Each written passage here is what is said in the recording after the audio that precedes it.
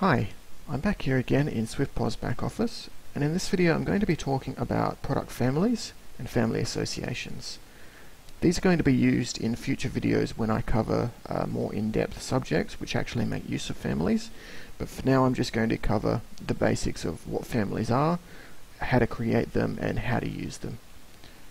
So I'm going to start here in products and families and in this screen you can see that the, the screen is divided into three main columns. In the first column you have a list of all the existing families that are currently set up. In the middle column you have a list of all of the unassigned products um, and in general that's a list of all the products in your database. And over on the right there is a list of all the assigned products. So these are products that have already been assigned to a family. This first family that I've got set up here, called all, is probably going to be set up already in your database, um, and it's simply a family that contains every product you have. Um, and that might be used in certain um, functions in SwiftPOS. Um, it could be used for various different things. It's a good idea to keep that family because it, you'll never know when it will come in handy. You might have other families already set up or you might have none. Um, so for example, I've got uh, quite a few set up here. Now there's lots of reasons why you might like to create a family. Um, and in general, a family is really just another way of grouping a bunch of products together. And there, there might be any number of reasons why you might do that.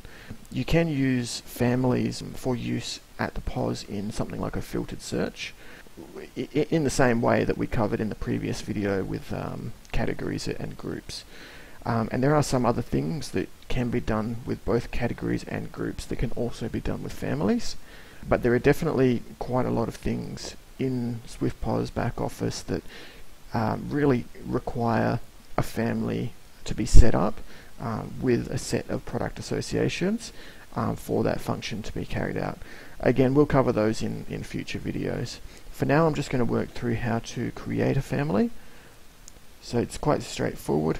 In the uh, families screen, you can click on new down the bottom here. And that's going to create a new family with the first available family number.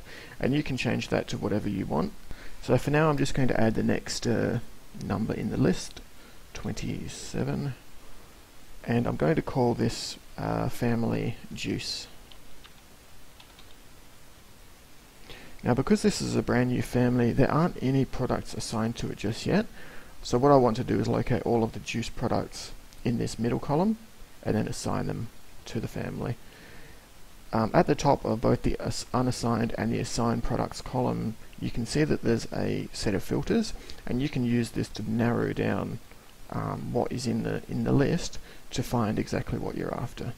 Um, there's also a field to search for the description of a product so for now I'm just going to filter out the juice category which I would have set up in one of the previous videos and you can see there are all of my juice products. These can be added individually um, or subtracted from the assigned product column using the little plus and minus buttons here. So plus adds it and minus takes it away. Um, you've also got a couple of little arrows down here. Um, that just means assign every product that's currently in this list um, to the assigned products list. And likewise, you can unassign everything if you want to. So for now, I'm just going to go ahead and assign all of my juice products and save my changes. So that's pretty much it for creating that family. It's very easy to do.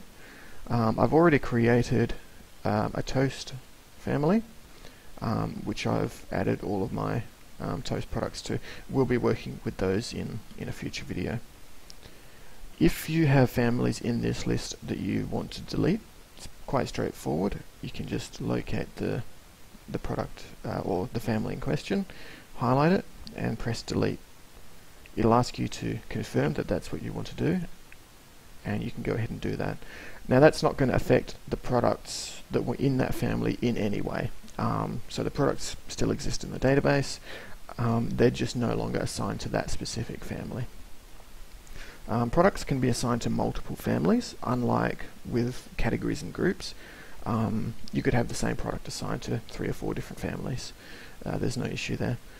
Um, if you come to delete a family that's currently in use somewhere else in the software, like this one for example,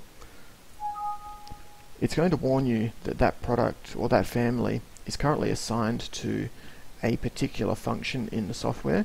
In this case it's a voucher action, um, but that also might be a mix and match or, or some other thing. But that's just a good safeguard so that you don't come and delete um, a family that goes and breaks something else that was implemented in the software.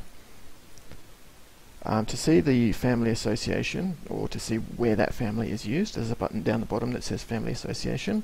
If you click on that, you can see a list of all the different places where that family might be used. And just by clicking through them, you can see that um, it's probably assigned to a voucher action. Yeah, there it is. So you can see that that is currently used in a voucher action called free beer. Um, so if you did want to actually go ahead and unassign that um, family, um, you, you know where to start looking. Going to close that screen. And I'm quite happy with the family that I've got set up here. And I can start using that elsewhere in the software. And that's pretty much it. That's how you create a family um, and how to populate it with products um, and just a little bit of background about what families are and, and where they might be used. I hope this has been helpful. Um, I will be covering uh, or using these products, uh, product families in future videos. And uh, if there are any questions, go ahead and leave me a comment. And thanks for watching.